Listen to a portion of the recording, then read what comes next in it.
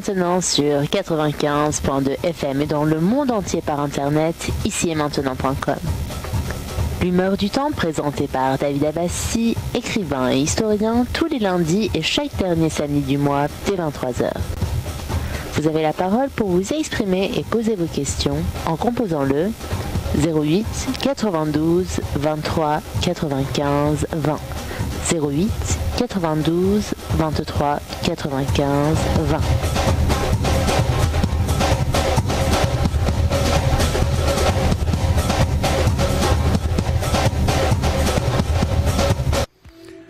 Alors aujourd'hui, il y avait la manifestation de Gay Pride aussi à Paris. Plusieurs centaines de milliers participaient. Vous, qu'en pensez-vous? Vous étiez parmi les manifestants ou vous êtes contre? Si vous étiez oui ou là-bas ou non, bah, on va pas entrer dans les zones interdites, hein, dans les lignes rouges, mais seulement si vous étiez dans les manifs ou non. Euh, voilà. Et vous savez, encore nous sommes au mois de juin, dernier jour du mois de juin.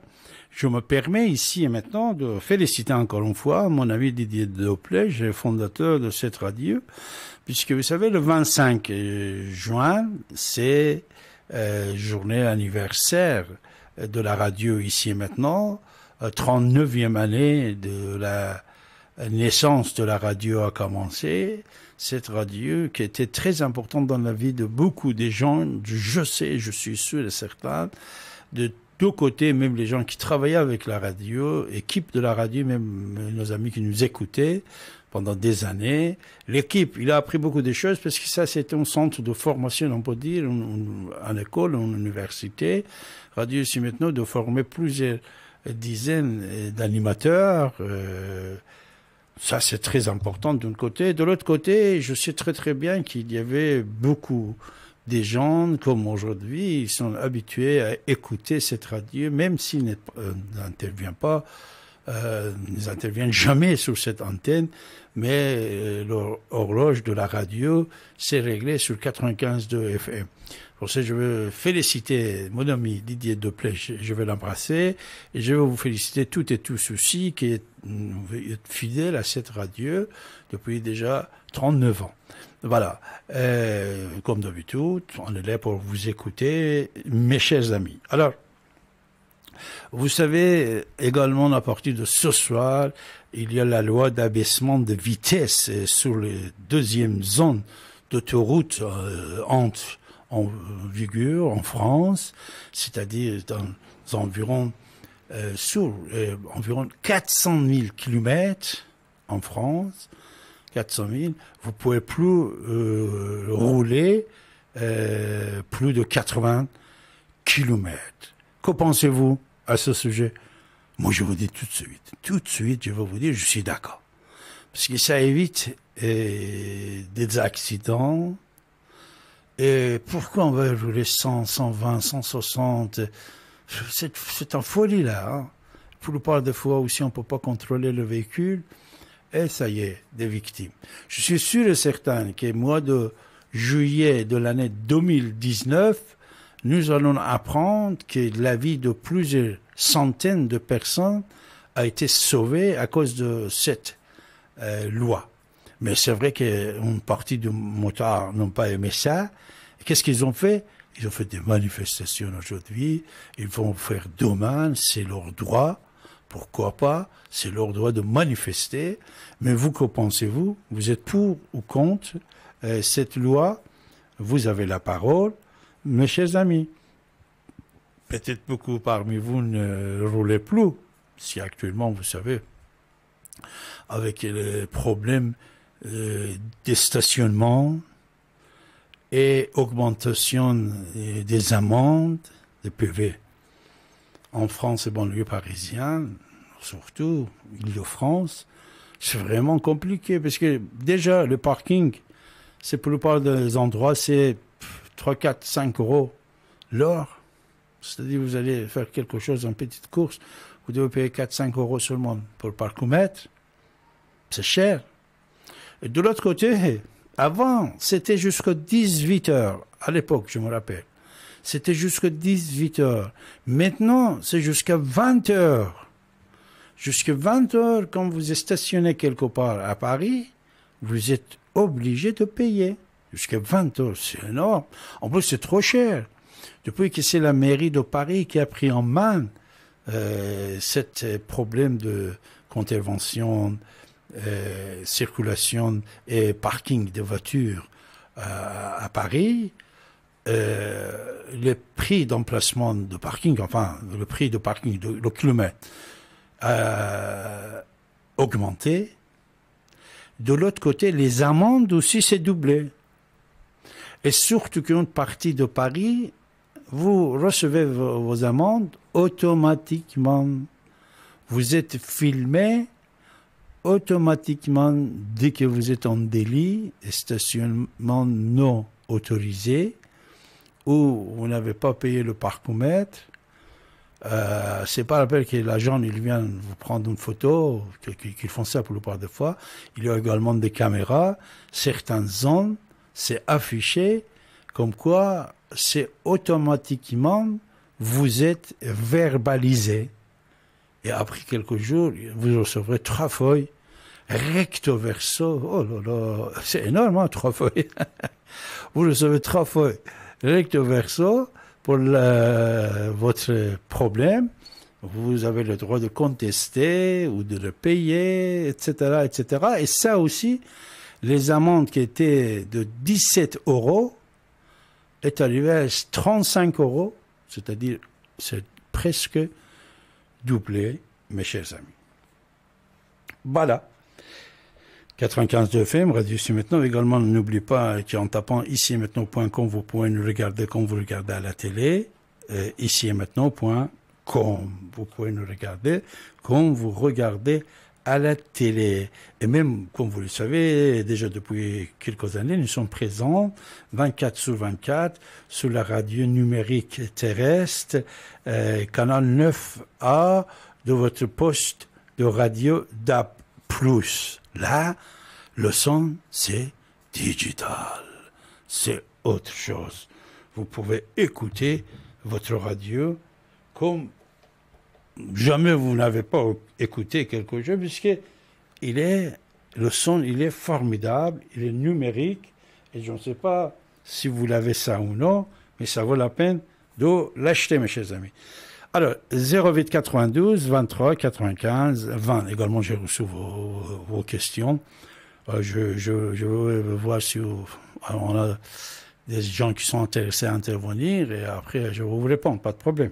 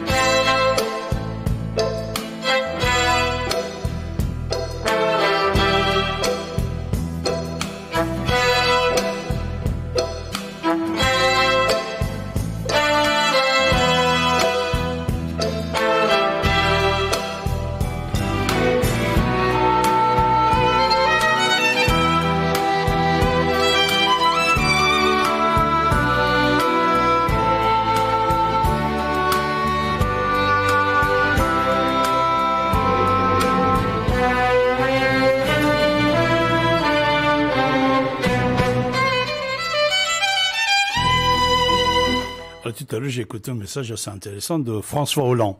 L'ancien président, monsieur euh, François Hollande, euh, suite à la victoire de la France contre Argentine, il a parlé deux minutes, mais euh, oh là là, c'était comme un spécialiste qui connaît bien le football. Ah, il a parlé, il exprimé, il, il a été très content également. Mais comme vous savez, Benzema n'était pas là dans cette mondiale. Dans la chanson que je vous ai diffusée tout à l'heure, c'était une ancienne chanson euh, qui citait le nom de Benzema. Mais Benzema n'était pas euh, ce soir, voilà, il était absent. Pourquoi moi ça, je ne sais pas. Hein. mais si vous le savez, vous pouvez nous dire. Et aujourd'hui également, vous savez, la famille Le Pen, Jean-Marie Le Pen, vous le connaissez. Ce soir, la famille était réunie surtout les trois sœurs, qui étaient en guerre, un contre l'autre, ce soir étaient ensemble chez Jean-Marie Le Pen, puisqu'il fêtait son anniversaire de 90 ans. Et voilà, les filles étaient là. Les trois filles étaient là ensemble. Euh, vous savez que Front National a changé de nom. Avec le nouveau nom, on va voir ce qui va passer. Mais je crois qu'ils vont être obligés de changer de nouvelle tête aussi, sinon elle va faire une autre partie, l'autre fille, nièce, nièce, euh, Marion Marshall Lopez. Euh, parce que c'est elle qui est, je crois, intéressée, elle, et, une grande partie aussi de, partisans de ex-Front National sont, euh, ils sont intéressés qu'elle, elle prend le volant de nouveaux partis, nouveaux partis nommés, de Jean-Marie Le Pen qui n'est pas dedans, qui était exclu de cette partie. C'était très intéressant là quand même. Vous fondez euh, un parti politique pendant des années. Vous combattez, vous combattez et vous ramenez votre fille, votre fille, votre vie et vous le donnez votre vie, ah, elle va vous expulser de cette partie. C'est très intéressant quand même. Hein. Ça, les choses qu'on ne voit pas euh, qu'à la cinéma, au cinéma, pardon, mais par contre, on le voit dans la vie quotidienne de tous les pays concernant l'argent, pouvoir, et sexe. La plupart des fois, c'est le sexe qui sépare la famille. Euh, l'enfant, euh, il ou elle aime quelqu'un, les parents ne sont pas d'accord, c'est l'amour ou le sexe. Parce que de temps en temps, quand ça arrive à l'âge de 18 ans, 19 ans, 20 ans, c'est le sexe.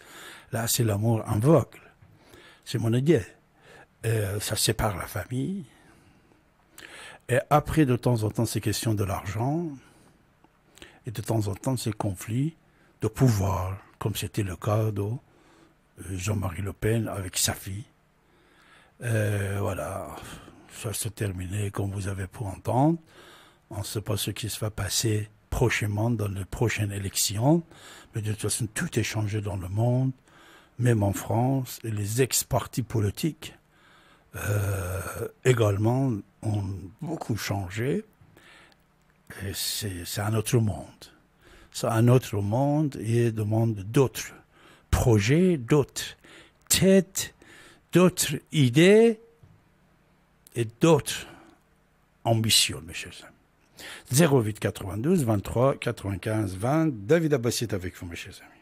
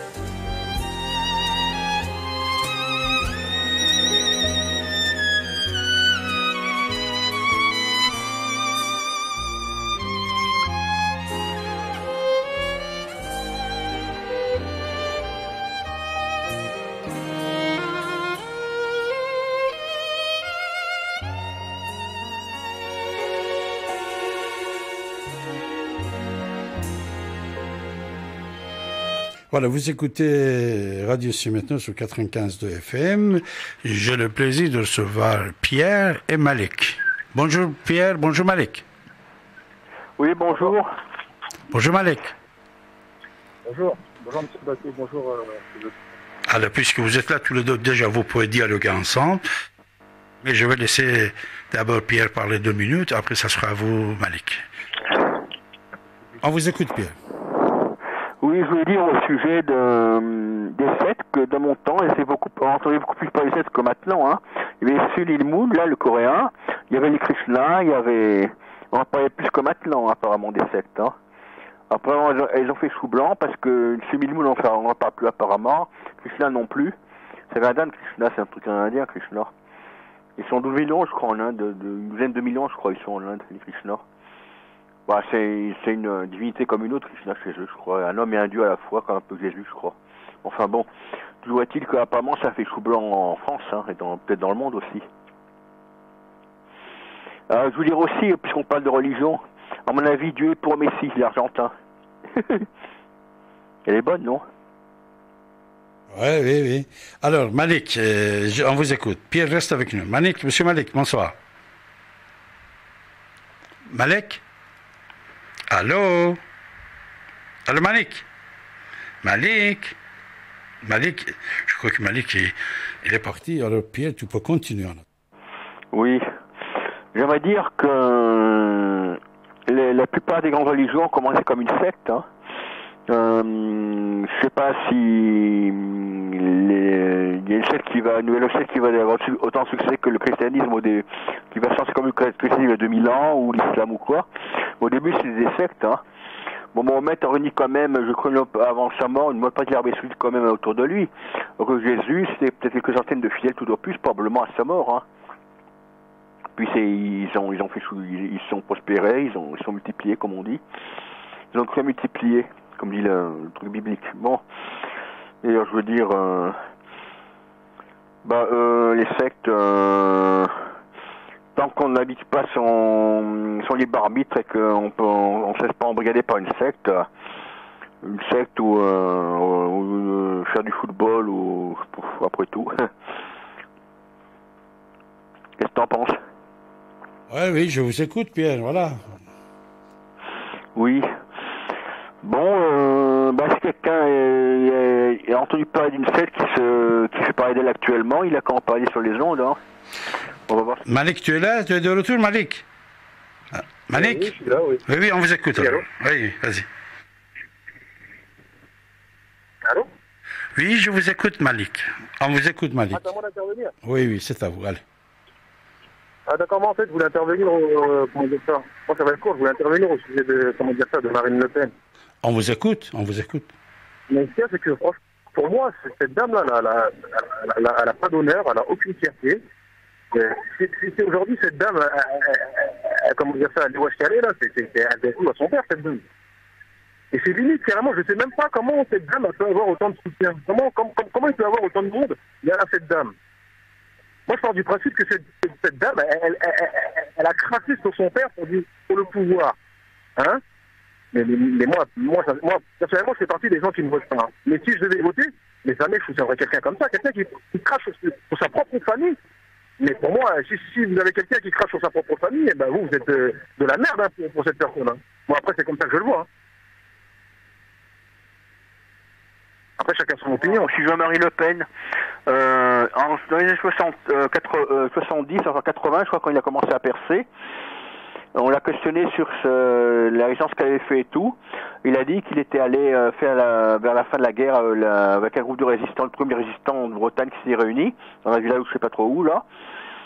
Et maintenant il a écrit ses mémoires. J'ai, je l'ai entendu euh, intervenir sur je sais plus quelle radio déjà. On l'a interrogé. Et dans ses mémoires, à ce qui semble, il a dit que non, il n'était pas allé là-bas que sa mère avait euh, volé ses pantalons, un truc ridicule, quoi. tous ses pantalons pour qu'il ait pas là-bas et tout. Euh, il a menti, quoi, il a carrément menti. Tantôt il est allé là-bas, tantôt il n'est pas allé. Ça veut dire aussi qu'aucun résistant ne l'a vu là-bas, hein. Il était 3000, aucun ne l'a vu. Donc il a carrément menti, c'est clair, hein. Non, c'est un menteur. En plus, c'est un anti-juif, c'est un raciste, c'est tout ce qu'on veut. Marine Le Pen, par contre, euh, si elle est raciste ou anti-juif, elle, elle, cherche bien son jeu apparemment. Je sais pas euh, ce qu'elle vaut exactement. À mon avis, avec euh, le ramassis de, de, de, Pétain et compagnie qu'elles en sont sont parties, ça annoncerait le bon pour la France si elle arrive au pouvoir. Bon, euh, ceci dit, euh, faut espérer que la, la, France va se relever, que les euh, vont reprendre du poil la bête probablement, parce que je vois pas comment, comment ça peut être remplacé. Si euh, la, la, la, debout la France ça prend la place des autres partis, je sais pas où ça mène, hein, parce que c'est ni droite ni gauche, c'est les deux à la fois, ce qui paraît. Debout de France? Debout la France, c'est ça, non euh... Debout la France? Ouais, c'est ni gauche ni droite, c'est les deux à la fois, il paraît, c'est un peu gauche et droite, un truc comme ça. Enfin, à mon avis, euh, Macron, il aimait... Il, maintenant, il ferait donner, s'il veut qu'il soit crédible, il, fait, il donner un coup, de, un, coup de barre, un coup de barre à gauche. Parce que pendant presque l'année où il était au pouvoir, là, c'est un coup de barre à droite qu'il a donné, apparemment. Bon. Malik, qu'est-ce que tu en penses à, à ce sujet-là? Malik. Bon, après, concernant, comment dire ça, concernant Jean-Marie Le Pen, sans vouloir le défendre, hein, moi, comme je dis, je, je, je ne vote pas. Mais euh, concernant Jean-Marie Le Pen, je crois que mon fils, il n'y a pas que lui qui ment. Je pense qu'ils mentent tous, hein, je crois, les hommes politiques, hein, ne me trompe pas. Mais après, concernant Jean-Marie Le Pen, il y a quelque chose que j'ai remarqué, c'est que à chaque fois qu'il m'a invité, on lui repose toujours la même question. Euh, on lui pose une question que ça fait 40 ans qu'on lui pose, en fait. Euh, le détail, le fameux, la fameuse histoire du détail. Ça, j'arrive jamais à comprendre. C'est le, c'est le, c'est le, c'est le, c'est comment dire ça? C'est le seul personnage politique que, quand on invite, on lui repose toujours la même question.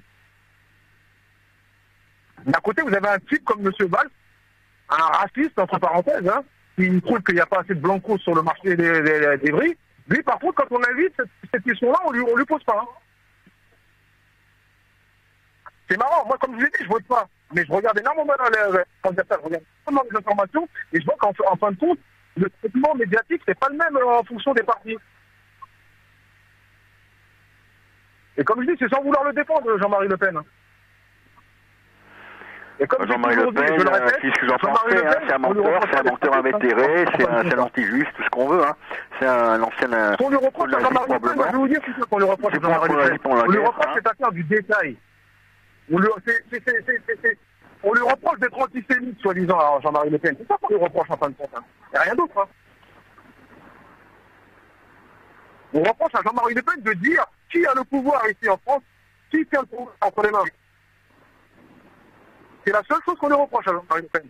Et comme je vous dis, sans vouloir le défendre, je ne vote pas. Je ne vote ni pour Jean-Marie Le Pen, je ne vote ni pour la gauche, ni pour la droite. Je ne vote pas. C'est pas compliqué pour moi, c'est un grand spectacle. Je vous remercie de m'avoir donné la parole. Au revoir. Merci Malik. Au revoir. Voilà, ça c'était Malik qui est parti, Pierre.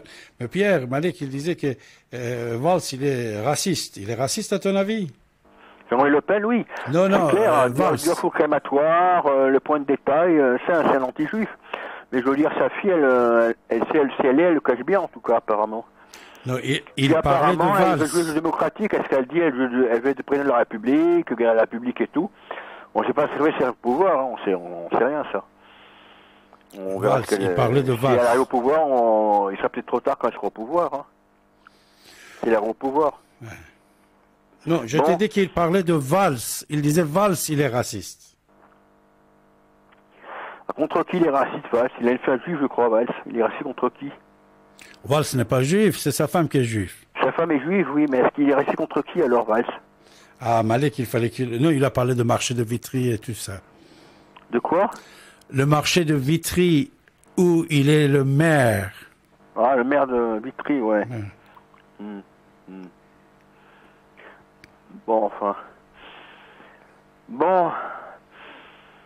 Mais euh... tu étais aux manifestations de Gay Pride tout à l'heure Ah non, c'est pas mon truc. Hein. Moi, je suis contre la pride, je suis contre le truc. Hein. Ah, Puis apparemment, maintenant, on parle plus que de ça. Apparemment, la moitié des films, je parle des, des gays et compagnie. Il y a plus que ça. On dirait qu'il n'y a plus que ça sur Terre. C'est malheureux. D'autant plus sur d'après la Torah, d'après le Torah, on dit que pas avant les du Messie, on, on tout jugé sur l'histoire de l'homosexualité. Alors ça m'étonne pas qu'on fasse tout ce dame dessus. Hein. Si le Messie va bientôt venir, euh, il y en a combien qui, qui, ont des choses de ce côté-là On fait un tel radam dessus, mariage mi, mariage gay, tout ça, et tout et tout. Enfin bon. Ouais, enfin. C'est bien triste. Puis j'ai marqué, remarqué que euh, apparemment on se lâche du côté de l'homosexualité et on s'attache sur d'autres trucs.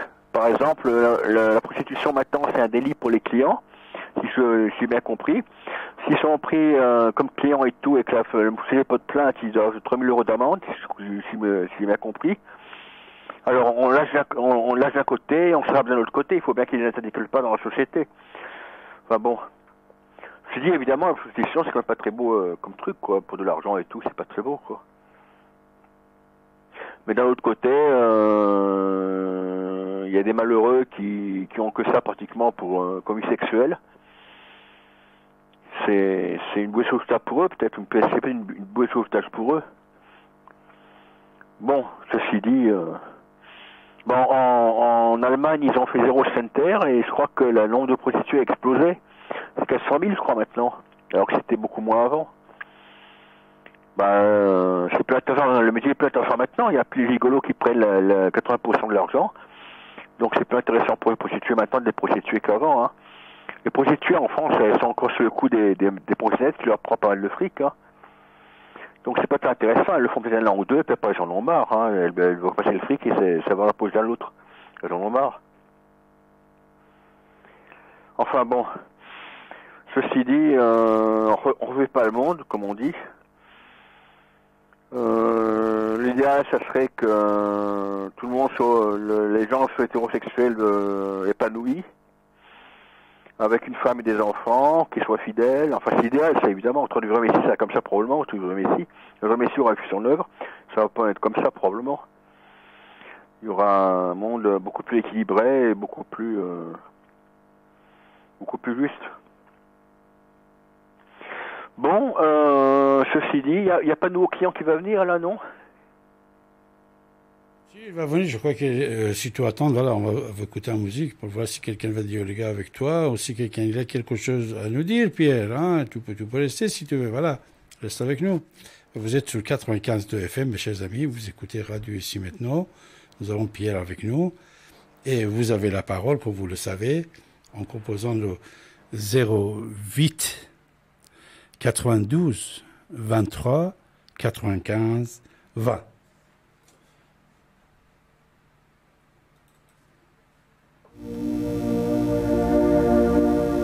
Vous êtes sur la radio ici et maintenant.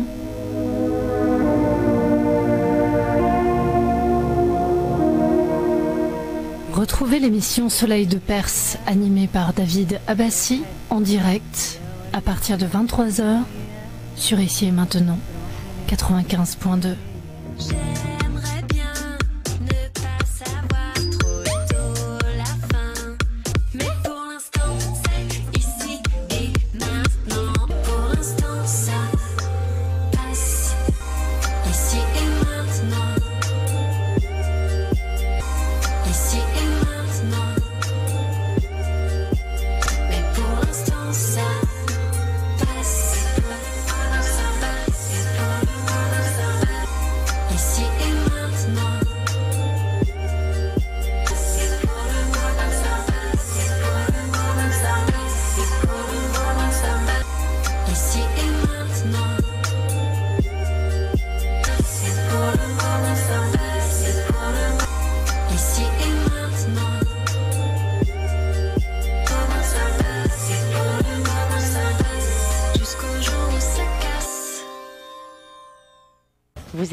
Radio ici et maintenant sur 95.2 FM et dans le monde entier par internet ici et maintenant.com. L'humeur du temps présentée par David Abbassi, écrivain et historien tous les lundis et chaque dernier samedi du mois dès 23h. Vous avez la parole pour vous exprimer et poser vos questions en composant le 08 92 23 95 20 08 92 23 95 20.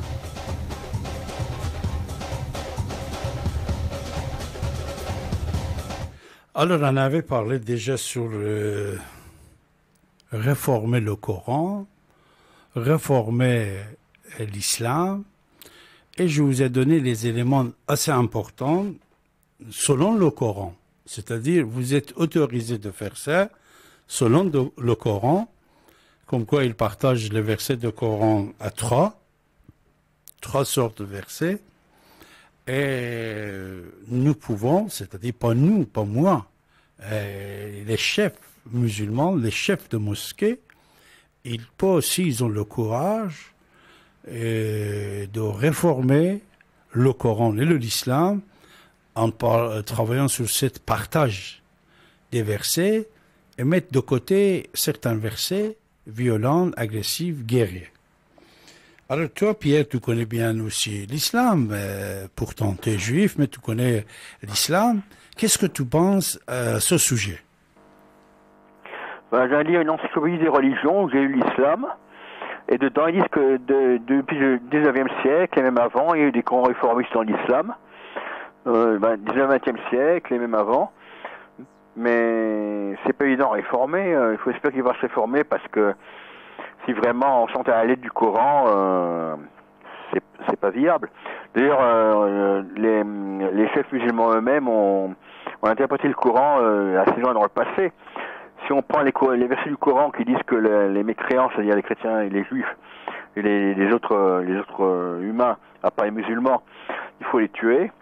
Euh, ce n'est pas la route, puisqu'il y a le pape d'Omar, je crois, vers, après Mahomet, qui dit que c'est des projets d'islam et qu'il doit payer un impôt assez cher, je crois un cinquième des revenus, je crois, pour euh, être protégé de l'islam et pouvoir faire religion sans être inquiété.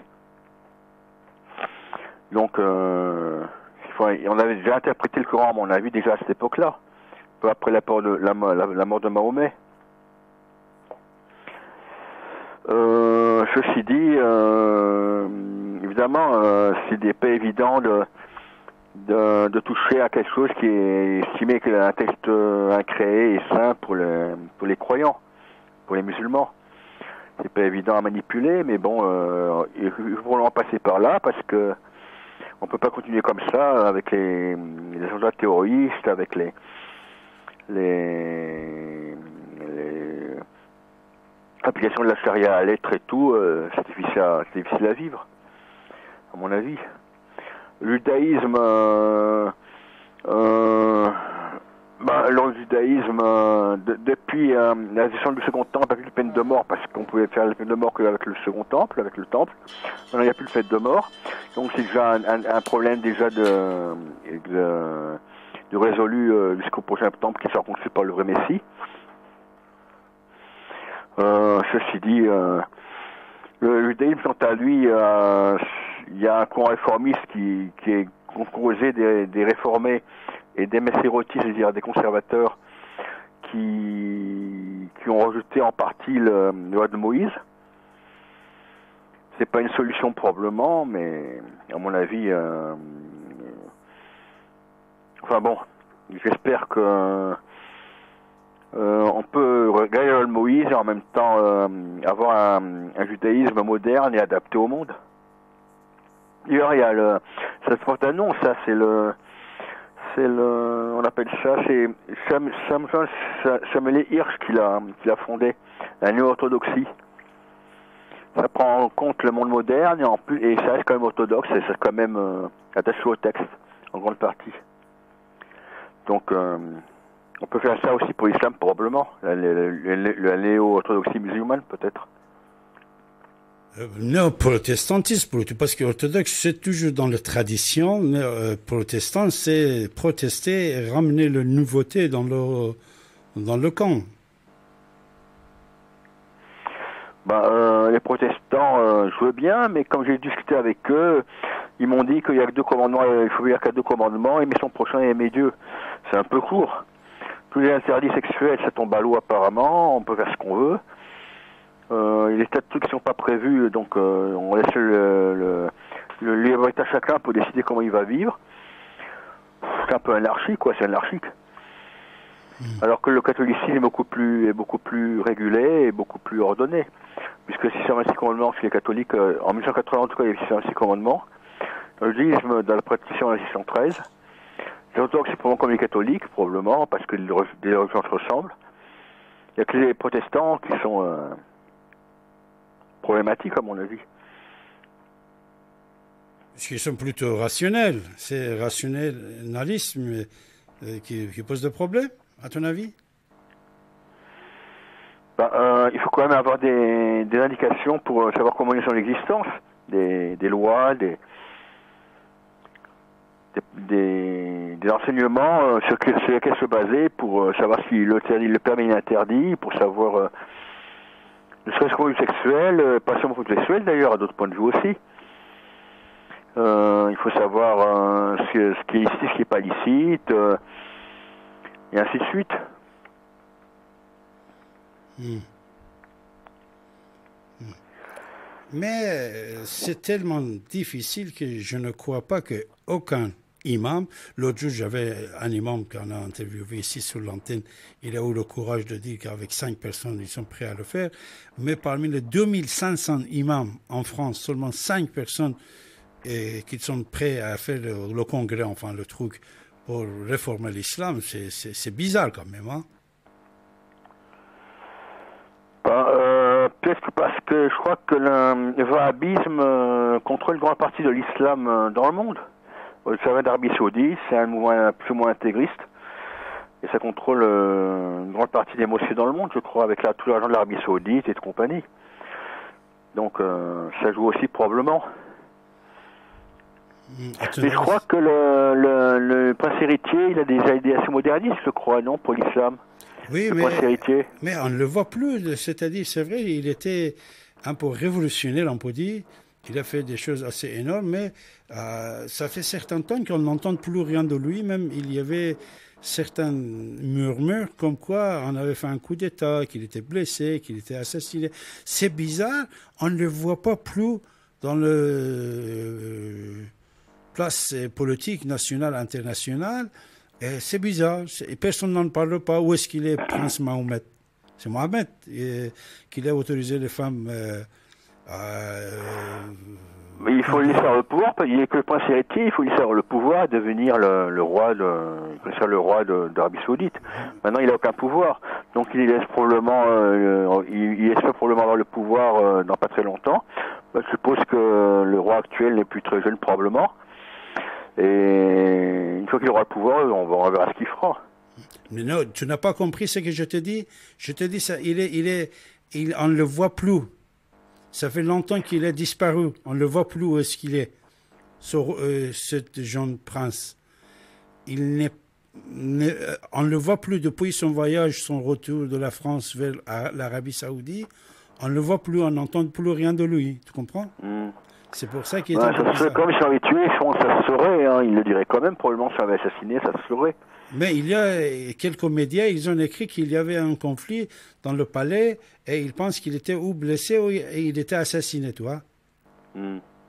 C'est ça, si quelqu'un il a des nouvelles, il y avait des photos qui est paru, ça je suis au courant.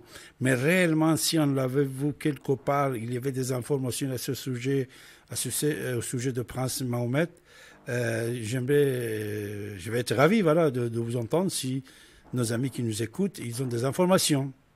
D'accord. Oui, oui, oui. Bon.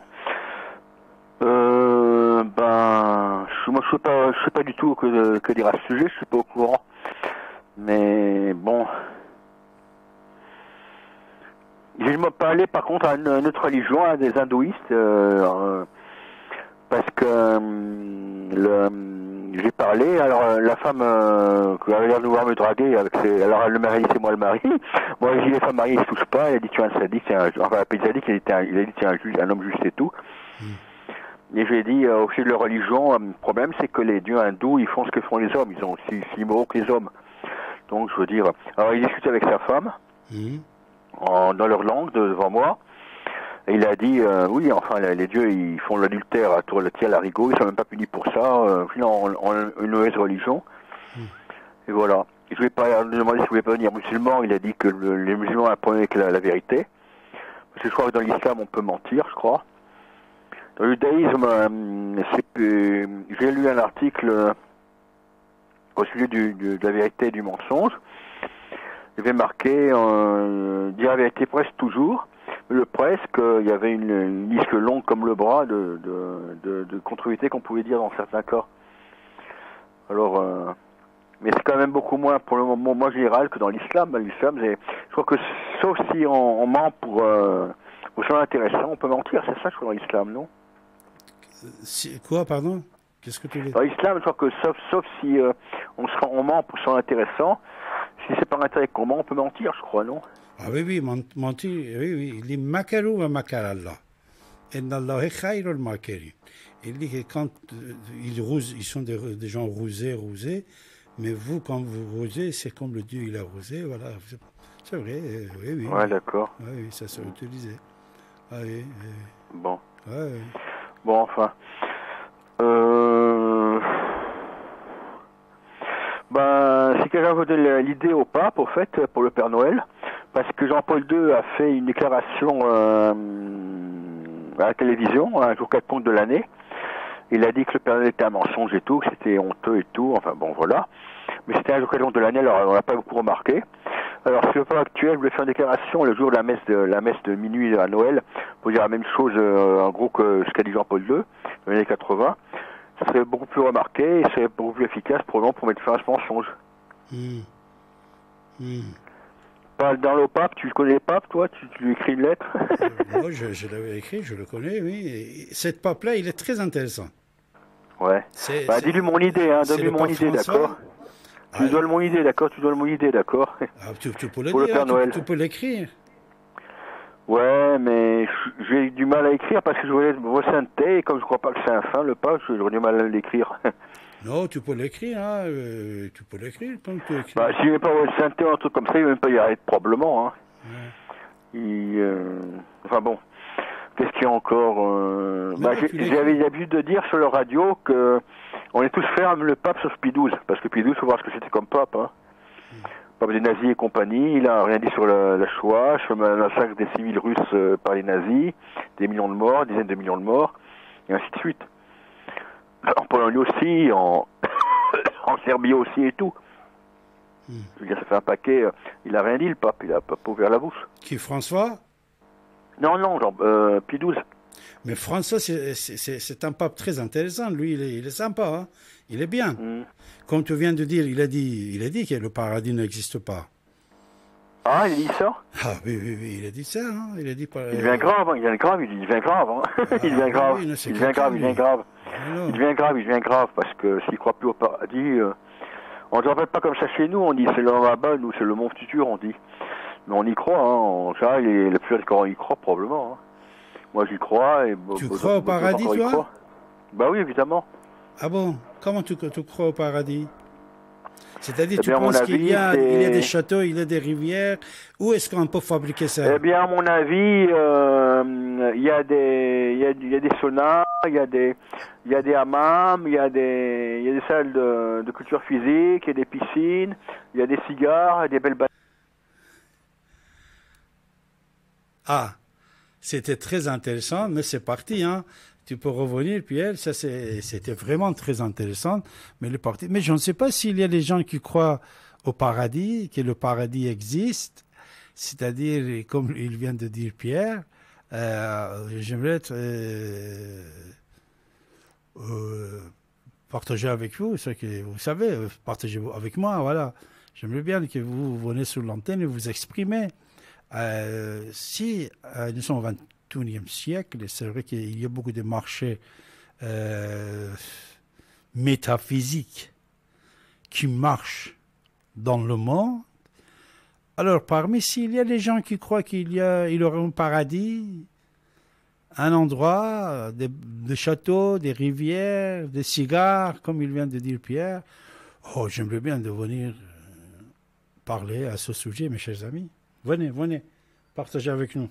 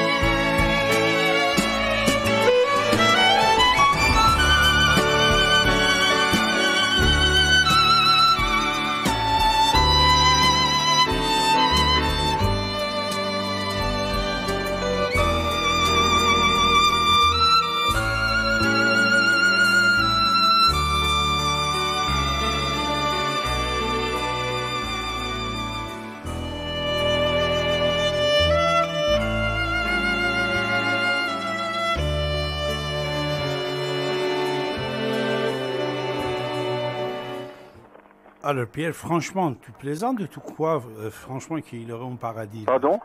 Le paradis. Non, j'y crois, hein. Ah J'ai bon plaisanté, mais j'y crois, hein. J'y crois. Ah, ah. J'ai plaisanté, mais j'y crois au paradis. Pardon? Ah, ah bon? Ah, C'est-à-dire une maison avec des filles, avec... euh, du, euh, oh, voilà, on vit co- euh, comme tu vis maintenant actuellement, c'est ça? Non, non, non, c'est plaisantant, ils ont ça. Mais tu sais que les musulmans, avec le- leur douze vierge, le chant d'hiver, je sais plus comment exactement, ils ont un problème, c'est que, que personne leur a dit c'est aimerait ses vierges tout le temps leur vierge. Ah, c'est difficile. il Personne leur a dit c'est aimerait ses vierges tout le temps leur vierge. Mais c'est du travail à être faire. Mais c'est du travail à faire si tout le temps c'est le vierge. Si elles sont vierges tout le temps, tu sais que c'est... Ben, c'est pas intéressant. c'est pas c'est pas intéressant. Tu dois, tu dois faire beaucoup de travail chaque... ah là là là là. Ah, vraiment, de temps en temps, certaines paroles, on ne réfléchit pas. Même si on réfléchit même une seconde, on va que si tout le temps euh, c'est vierge, c'est compliqué. Chaque fois, tu dois faire beaucoup d'exercices là, tu vois. Comment les gens ne peuvent croire comme ça? À ton bon, avis euh, Comment à mon avis, euh, la plupart des croyants quand même à la vie, croient à la vie après la mort quand même. Hein La, plupart des croyants comme, croient quand même à la vie après la mort. Euh, Mais la vie Platon, après la mort, c'est en comment faisait, euh, Socrate en faisait une raison de mor- morale, je crois. Il dit qu'il serait injuste que la- les fauteurs euh, ne soient pas punis et que les que s'ils comportent bien ne soient pas récompensés. Hmm. Dans une question de morale.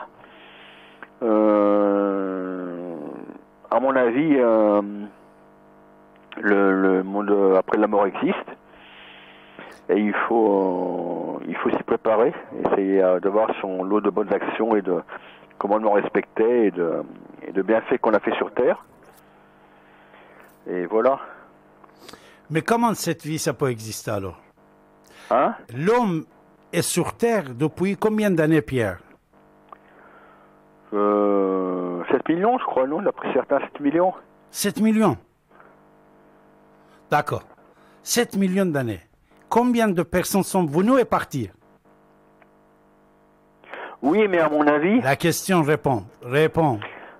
à mon avis, euh, le- le- la Bible, le judaïsme parle de la version de l'homme qui date de 1678 ans. Et en fait, euh, ce qui a dû se passer probablement, c'est que la- il y a à cette époque-là, il y a eu les premières civilisations qui sont apparues. Non, la Et date, fait le la passé, date c'est une sorte de mutation de l'humanité qui a eu lieu. Oh, oh, eh, Pierre, Et, et l'homme a eu alors une âme humaine à ce moment-là. Pierre, Oui la date hébreu pour la création d'humain, d'Adam et Ève, c'est 5700, oh, 5800 ans. Ce n'est pas 1000. C'est 5778 ans Voilà, euh, c'est de cinq. création de l'homme d'après le judaïsme. Voilà. C'est c'est la naissance, apprends ça. C'est la naissance de Adam et Ève. Ce n'est pas l'humanité qui a commencé. C'est la, le, Non, mais à mon avis, il faut adapter les textes. Hein. C'est probablement la première, les premiers hommes qui, qui, qui méritent le nom d'homme. Parce qu'ils ont probablement une âme à l'heure humaine à cette époque-là. Et avant, c'était autre chose, probablement. Et après ce moment-là, euh, avons- il y a une humanité telle qu'on la connaît actuellement, avec une, une âme euh, éternelle. euh, enfin, peut-être pas éternelle pour tout le monde, parce qu'il y a peut-être des âmes qui sont, qui sont destinées à être détruites, je ne sais pas. Mais hum, en tout cas, euh, les lames, pour beaucoup de monde, c'est une âme éternelle. Et avec une récompense, une récompense pour les méritants après la mort. Non, déjà, l'homme a pu découvrir que euh, l'homme comme moi et toi existe depuis déjà plusieurs millions d'années.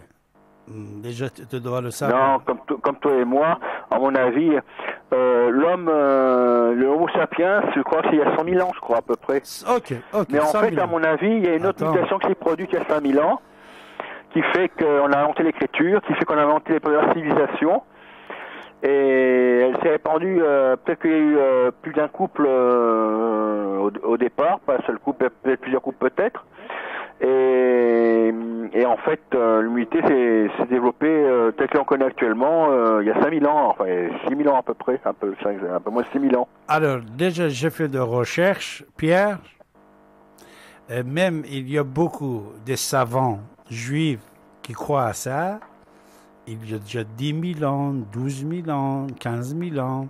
Il y avait des civilisations humaines en Mésopotamie, en Amérique, euh, en Il n'y a pas Afrique. 15 000 ans, il y a 5000 ans à peu près, il n'y a pas 15 000 ans. Je te 5000 dis ans à peu 15 près. 000 ans. Je te dis 15 À 000 peu c'est- près 5000 ans. Attends, tu, tu m'écoutes ou non? Pierre? Oui, j'écoute. Tu m'écoutes, hein? La première civilisation en Mésopotamie, c'est 7000 ans. D'accord? 7000 ans. Il y a des écritures, des dessins, des monuments historiques qui existent. Existent. C'est-à-dire, tu peux aller demain à Sousse et regarder, tu peux aller demain dans d'autres endroits que je peux te donner l'adresse de visiter. On vient de découvrir des cités, des villes euh, de 7000 ans, de 8000 ans, de 10 000 ans de civilisation. D'accord? Ça, c'était déjà découvert. Alors, euh, je répète encore, je te dis, euh, les 5700, c'est le, commencement de la vie de Adam et de Ève, qui étaient exilés de plateau persan, de mer Caspienne, vers le désert de, euh, de Sinaï. Au désert de Sinaï, il était exilé du royaume de Sousse. Et là, il a commencé à- de zéro. C'est-à-dire, Adam, quand il est exilé au Sinaï, c'est zéro. Il n'a rien de tout. Et là qu'il va commencer à construire cette famille que nous le voyons aujourd'hui. Tu comprends? Aussi du récit biblique. Aussi du récit biblique. On dit que Adam et Ève ont été créés, qu'avant il y a eu les sur création. À mon avis, les sur créations, c'est pas six jours, c'est six périodes qui peuvent durer des centaines de millions d'années, des milliards d'années. Et l'ordre de la de- du, du récit biblique n'est pas l'ordre euh, historique. C'est aller du moins important au plus important pour l'homme. Voilà, les historiens ne croient pas à théologie euh, ainsi que tu viens de citer. C'est une- cette théologie, mais idéologie, euh, scientifiquement, euh, n'est pas ça.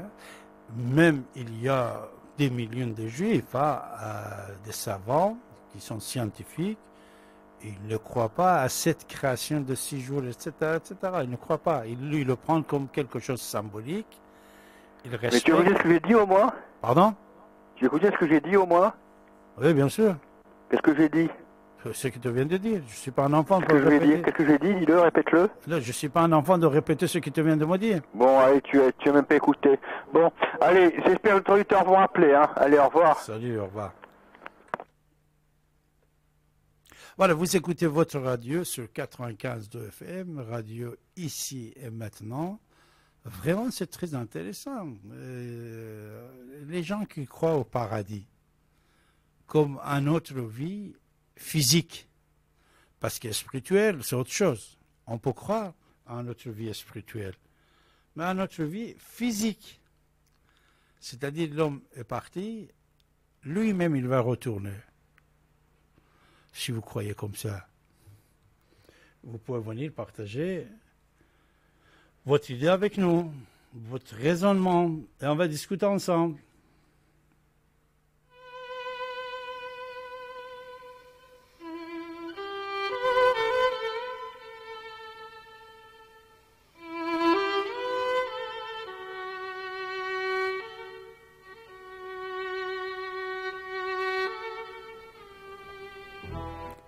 Vous écoutez Radio ici et maintenant sur 95.2 FM, sur internet ici et maintenant.com, sur la RNT, le canal 9A. Vous avez la parole en composant le 08 92 23 95 20. 08 92 23 95 20.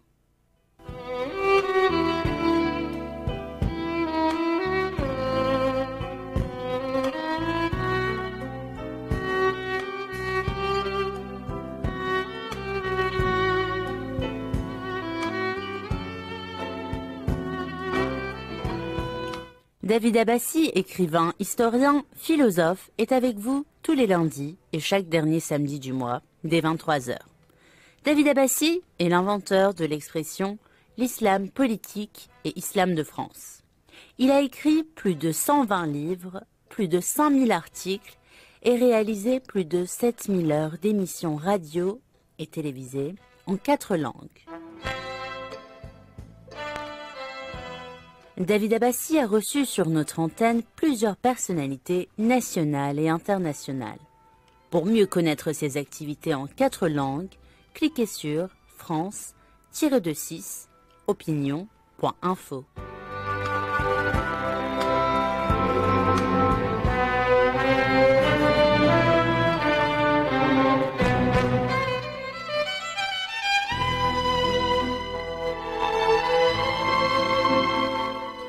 Vous pouvez intervenir pour vous exprimer, poser vos questions, réagir sur l'actualité, partager vos informations en composant le 08 92 23 95 20. 08 92 23 95 20.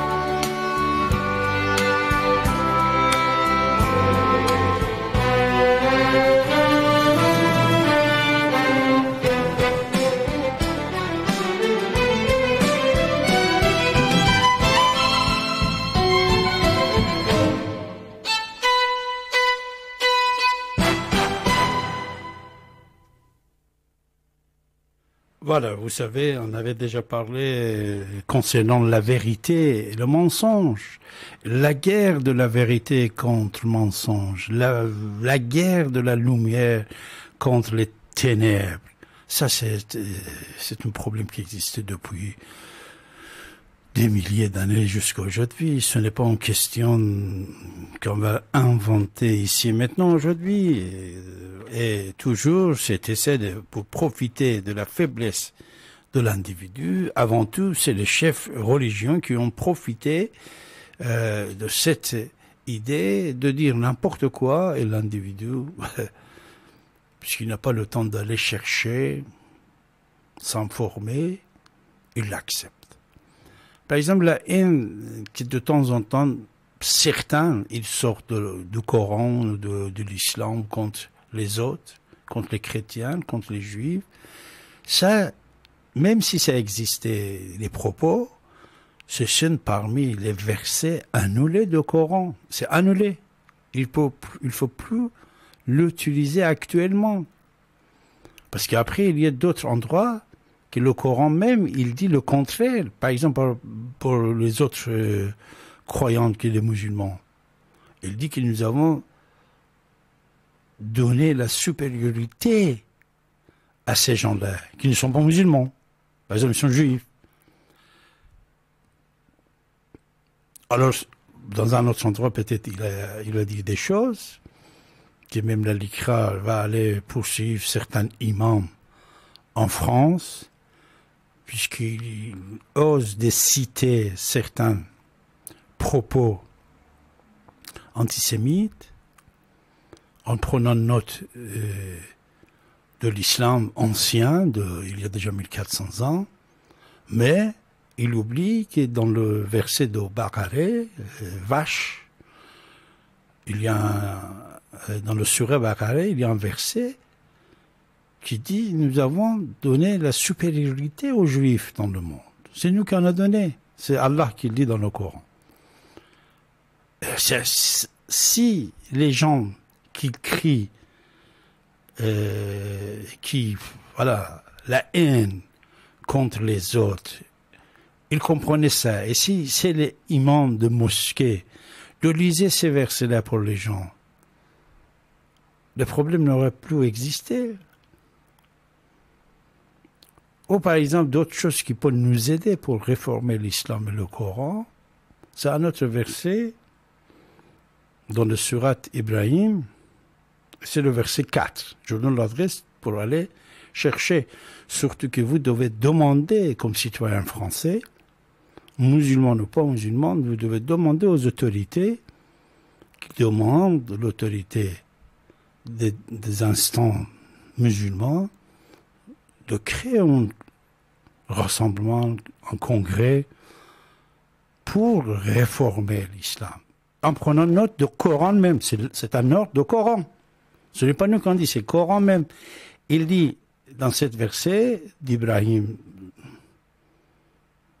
surat Ibrahim verset 4, il dit que nous n'avons pas envoyé aucun messager qui à la langue de son peuple. C'est-à-dire, s'il envoyait quelqu'un en langue arabe, cet messager, c'était seulement pour les gens qui parlent arabe. Ce n'est pas pour d'autres pays.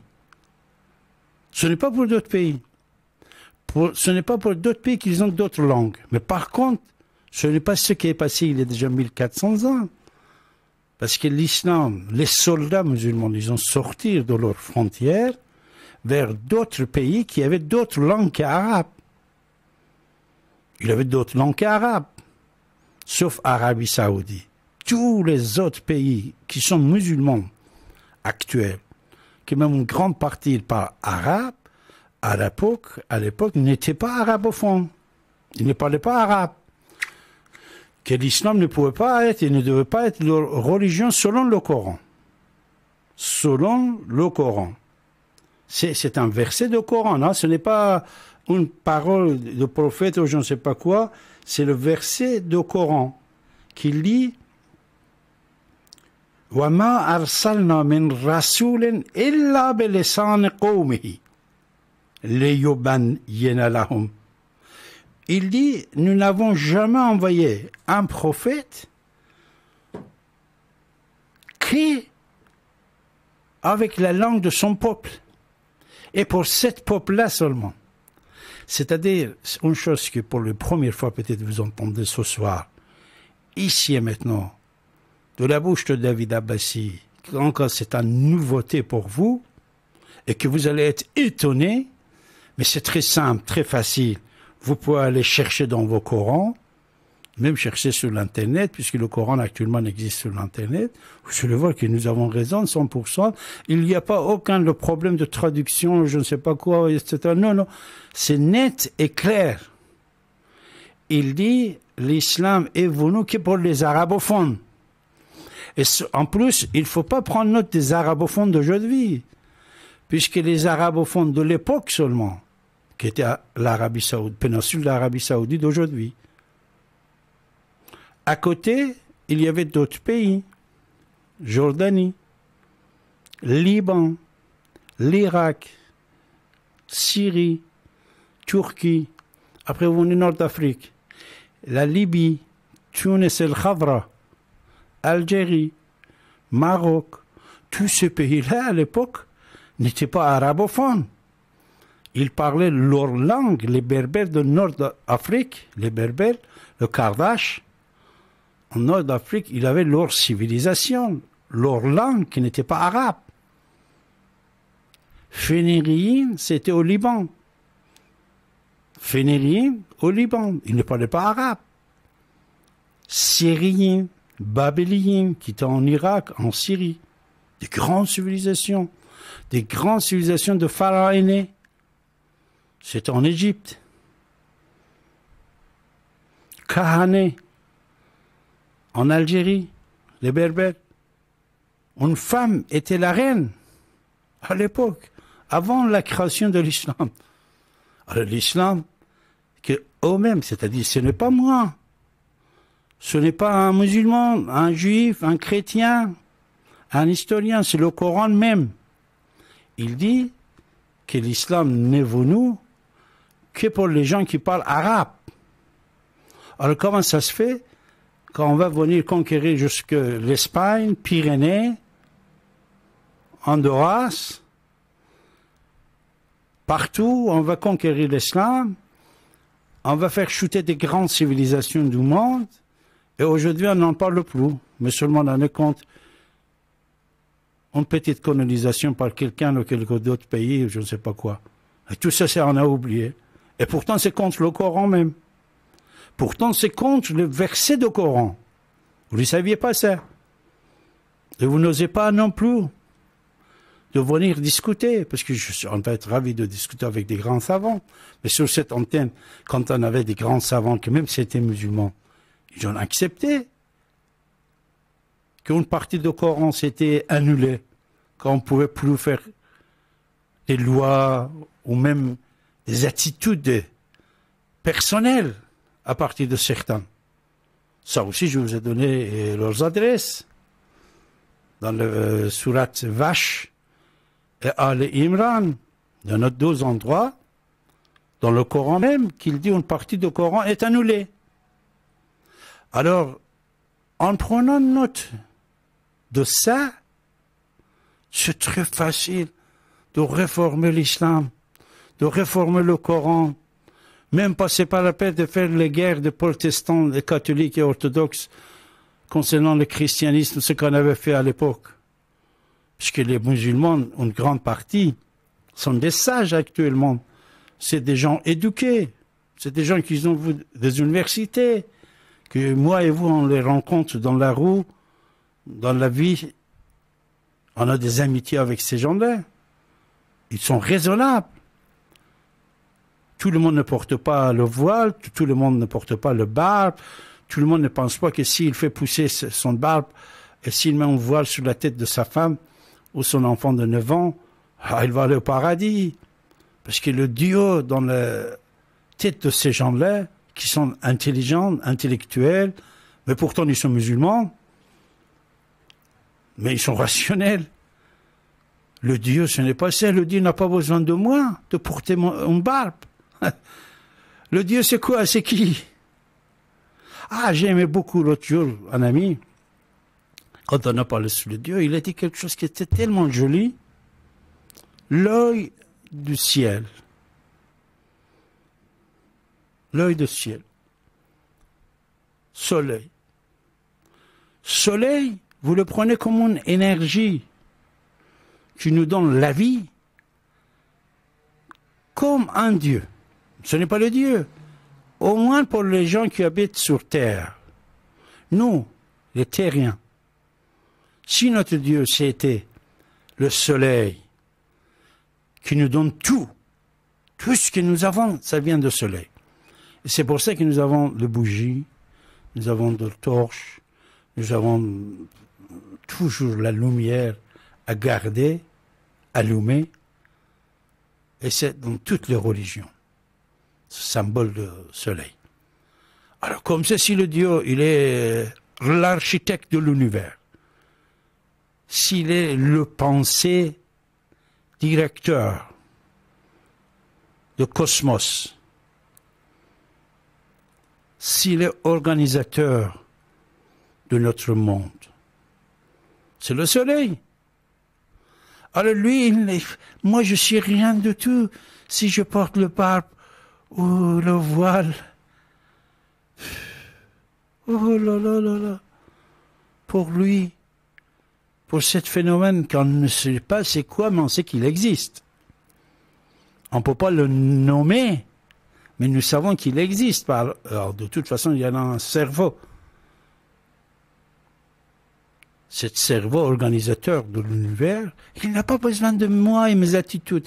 C'est pour ça que moi, si je mourrais un jour, qu'est-ce que je fais? Je marche dans la rue puisque je porte une barbe et j'ai mis un gel là-bas. Ah, je pense que j'ai le paradis sur le... je marche comme un héros. Alors, quelle est la différence entre moi et celui qui a fabriqué l'Internet Celui qui a fabriqué, inventé la lumière, le cinéma, le WhatsApp, le IMO, Facebook. Regardez, ce qu'ils font, cette création moderne de ce siècle. Alors lui, il va aller en enfer, puisqu'il n'est pas musulman, il n'est pas croyant, et moi je vais aller au paradis, et je, n'ai rien fait. J'ai rien fait. Seulement j'ai porté le bar, si j'étais une femme, je mettais le voile sur ma tête. Oh Non, même s'il y a un paradis, c'est lui qui a inventé des choses, inventé de la vie des milliards de gens utilisent. Un médecin, un architecte, un inventeur, un sauveur, quelqu'un qui rend service aux autres, un ONG, c'est lui qui va dans le paradis. Et le paradis, c'est spirituel en plus. Ce n'est pas physique, c'est spirituel. L'esprit, il est éternel. Et l'esprit éternel, avec l'esprit éternel, si vous étiez bien, si vous avez bien travaillé, votre esprit va devenir, dans le prochain coup, Gilbert. Il va devenir, je ne sais pas qui que vous souhaitez être, riche, pouvoir, célébrité, de n'importe quel côté que vous pensez, footballeur, n'est-ce pas? Vous avez des idoles. Vous avez des gens qui sont vos symboles économiques et sportifs, politiques, philosophiques. Tout à l'heure, je vois quelqu'un dans un cabinet médical.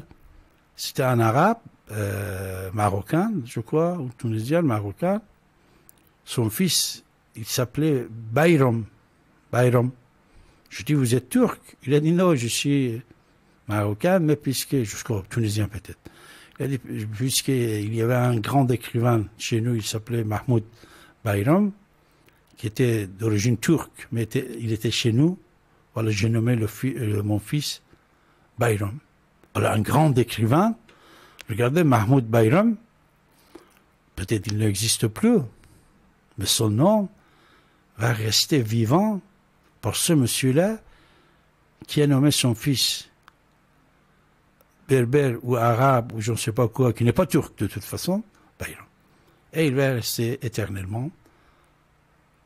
Son esprit aussi, et son esprit de Bayram, il est vivant puisqu'il a fait quelque chose. Qu'au moins, il y a une personne qui, moi je le vois, qu'il y a peut-être des centaines, ils vont nommer leurs fils, leurs enfants, comme lui. C'est un symbole. Alors, quand tu es un symbole, tu peux penser que tu vas avoir la chance d'aller au paradis, c'est-à-dire la deuxième naissance, la réincarnation de ton esprit, va être bien placée pour être bien dans ce monde-là. On ne sait jamais, tu vas devenir peut-être Bill Gates, voilà. un autre Bill Gates. Mais si moi seulement moi, moi, je parle de moi, hein. J'étais tellement imbécile qu'en pensant que si je rase le front et je porte le barbe et je, je prends pas le douche tous les jours, après je demande à ma femme de porter le voile, que de ne pas travailler, rester à la maison. Euh, le matin, elle sort pour faire le marché. Après le midi, quand je viens, elle fait le repas. Et que je, je vis euh, modestement avec 200 euros, 100 euros que je veux gagner. Pourquoi? Puisque ça va, ça suffit. Je veux pas l'argent al-faqr ou. Je suis fier d'être pauvre. Non.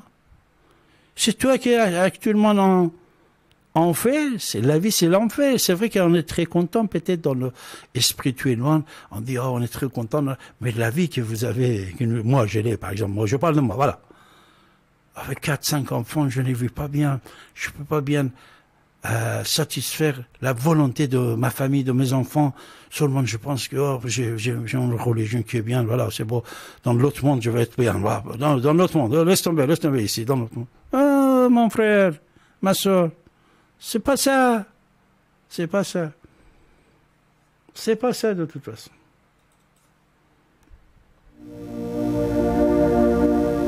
Vous êtes sur la radio ici et maintenant.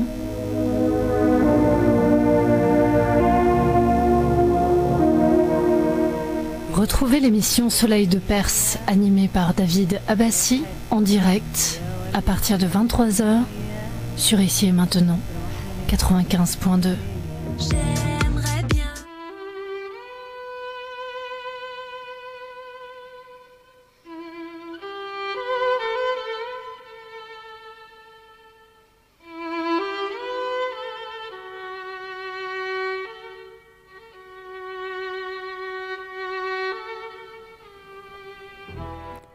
Vous écoutez Radio ici et maintenant sur 95.2 FM, sur internet ici et maintenant.com, sur la RNT, le canal 9A. Vous avez la parole en composant le 08 92 23 95 20. 08 92 23 95 20.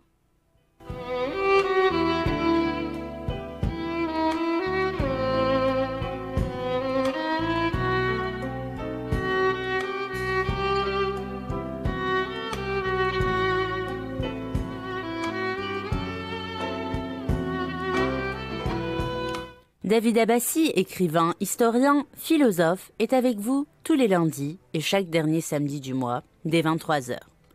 David Abbassi est l'inventeur de l'expression l'islam politique et islam de France. Il a écrit plus de 120 livres, plus de 5000 articles et réalisé plus de 7000 heures d'émissions radio et télévisées en quatre langues.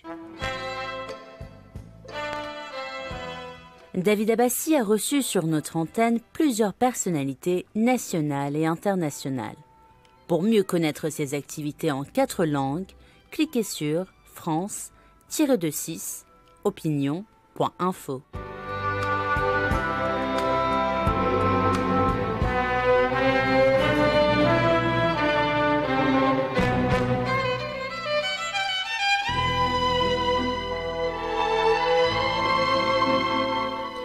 Vous pouvez intervenir pour vous exprimer, poser vos questions, réagir sur l'actualité, partager vos informations en composant le 08 92 23 95 20. 08 92 23 95 20.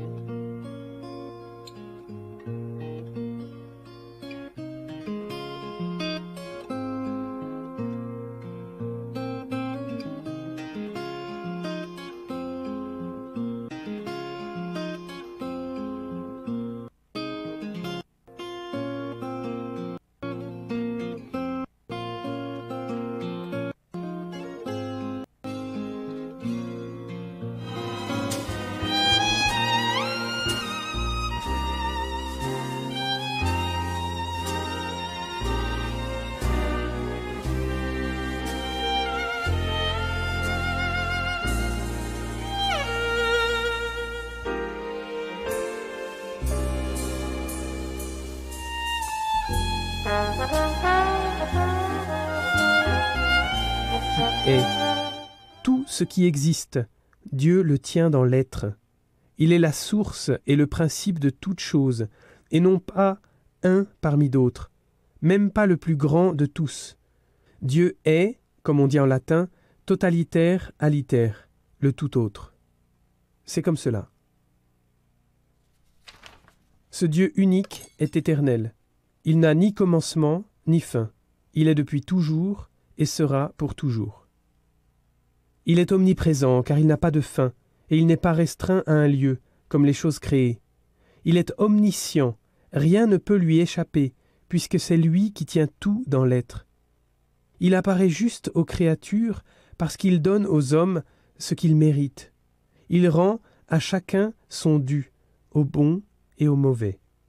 Il apparaît comme miséricordieux et bon parce qu'il pardonne à celui qui se repent et ne délaisse même pas le pécheur. Il se penche pour soutenir l'homme dans sa faiblesse et sa détresse.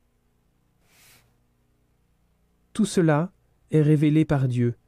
Et il ne faut pas oublier, Dieu est toujours plus grand que l'intellect humain. Nous savons quelque chose de Dieu parce qu'il se révèle, mais attention quand on veut l'exprimer dans la langue humaine.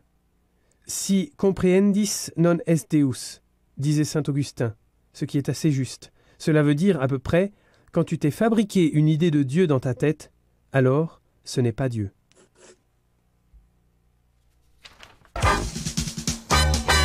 La fabrication d'un personnage dans la tête de l'individu comme le Dieu, ce n'est pas le Dieu.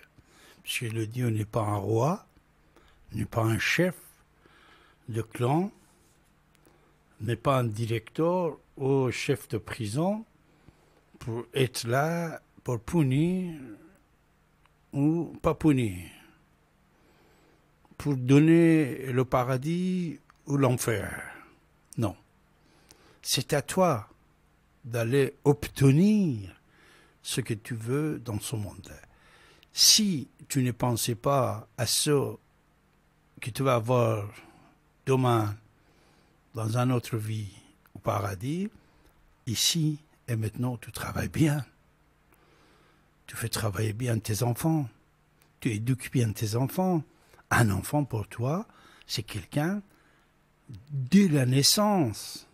Dès la naissance, où tu ne veux pas ramener un enfant, et si tu ramènes un enfant, tu dois être capable d'assurer sa vie,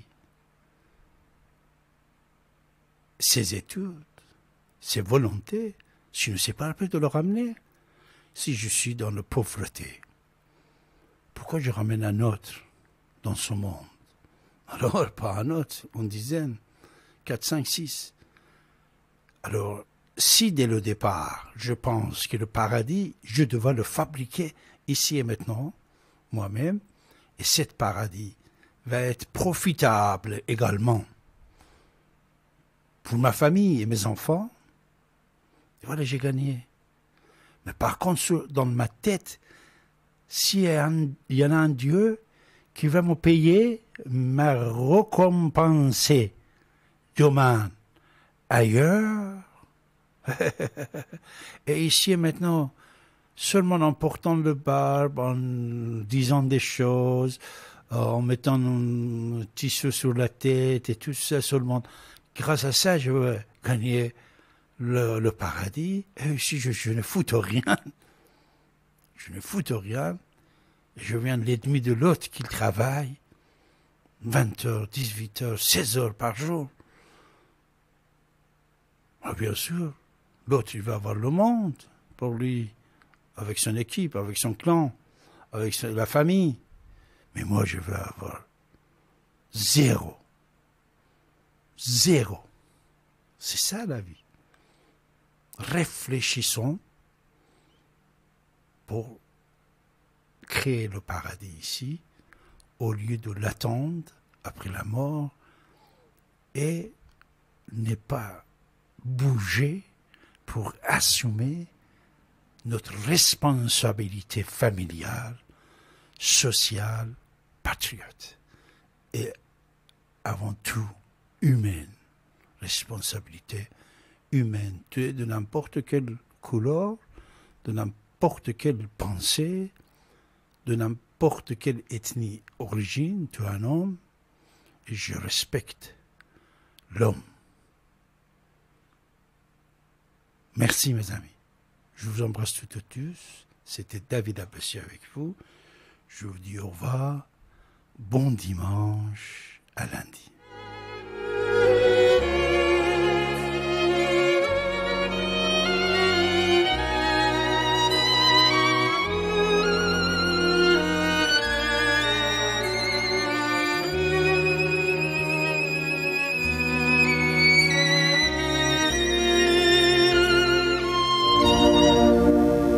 Vous êtes sur la radio Ici et maintenant